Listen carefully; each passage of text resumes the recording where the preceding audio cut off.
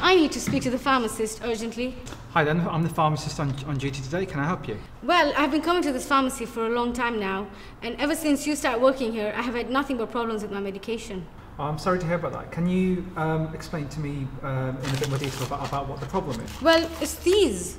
The color is different, and I can't tell what is what. I'm having, I'm getting a lot of hypos nowadays, and it must be something you've given me.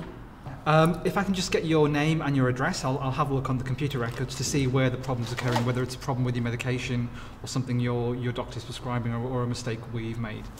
Okay, Salma Ali, 123 Aston Road. Okay, Salma Ali, 123 Aston Road. Let's have a look now.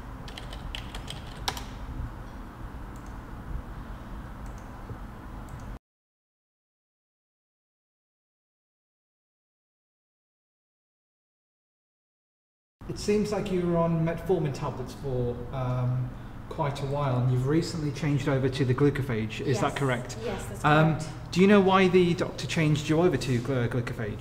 Well, I started working again recently, and th- it was difficult for me to be taking my medication all the time. I realized I was missing a few doses, and it was playing haywire with my sugar levels.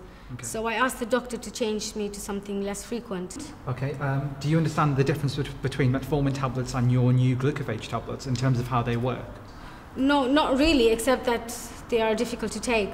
Are, are they causing problems for you to swallow or Have you ever tried taking three of them in one go? no? Okay. Um, you're not breaking them at all, are you, or crushing them or anything like that, or chewing them as you um, take them every day? Sometimes it's easier to take them that way. Um, So just to confirm, you do actually cr- crush the tablets sometimes when you when you when you take them to make it easier for you to swallow. Yeah, it's easier that way. Ah, now I see. I think I think that's where the problem's occurring for you. Ah, so what do you suggest?